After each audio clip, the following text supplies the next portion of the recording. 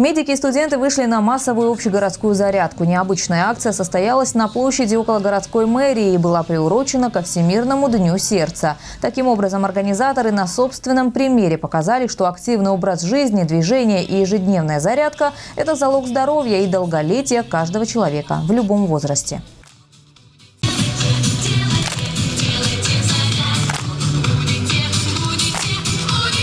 Каждый из нас э, может э, бросить вредные привычки, э, заниматься спортом, ну не спортом, а физкультурой, правильнее сказать, заниматься контролем своего веса, контролировать холестерин, уровень сахара крови и так далее. То есть это все абсолютно простые, доступные мероприятия для любого из нас.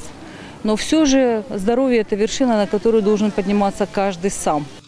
В ближайшее время сочинские медики планируют провести еще несколько подобных акций, к участию в которых рассчитывают привлечь не только молодежь, но и горожан старшего поколения.